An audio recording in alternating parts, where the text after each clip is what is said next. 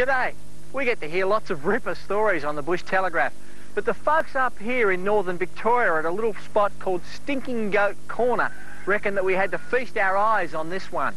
It's a story about a couple named Eddy and Eileen Doyle, old farmers who in 45 years of marriage had never really been anywhere. But at last they went on the great Aussie adventure. But it was a trip with a difference.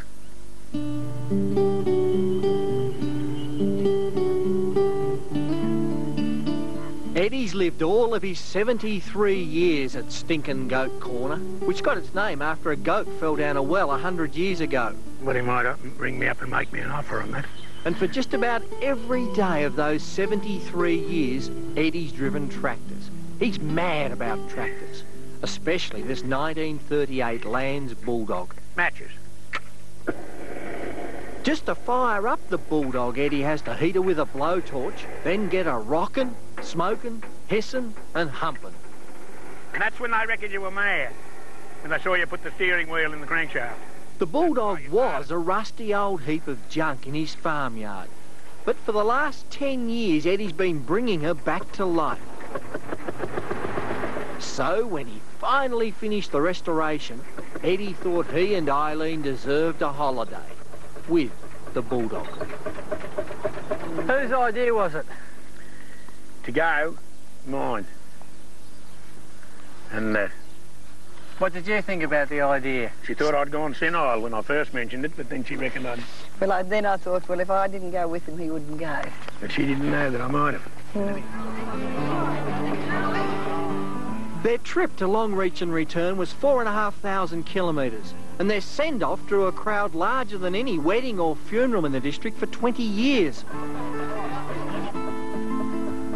The locals reckoned it was such a hoot that they erected a signpost at Stinkin' Goat Corner saying 2,000 to Longreach.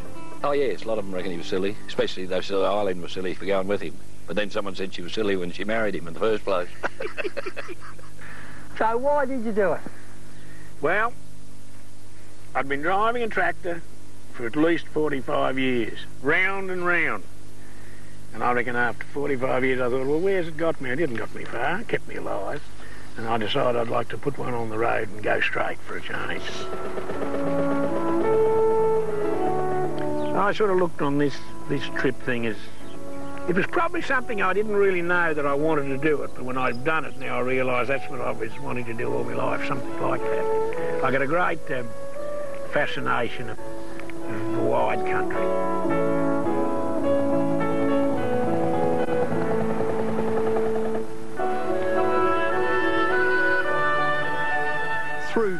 Weather and foul, they motored at 30 kilometres an hour for seven or eight hours a day, causing quite a kerfuffle through each town.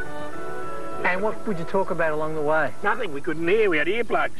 We were pointing, just, Sign language. we'd say, well, that's why we never had any arguments. Couldn't hear one another. we'd save the talk for the night. You couldn't hear each other? No, You could hear it. I'd So- get a dig in the ribs if I was getting a bit over to the white line. I'd get this in the ribs. Straighten up again. So what if you saw some sparkling sight on the side of the road? what if it was on the other side? And that was it. That is it, yeah. That's a hell of a holiday, Yeah. Eddy.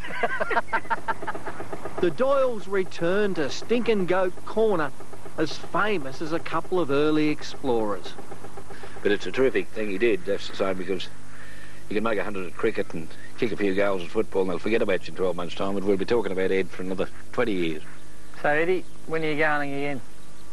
We haven't Ah. planned yet. might do a short one next year, you know, say, 1,000 k's. I really wouldn't mind going to Perth, but oh, it's a long range.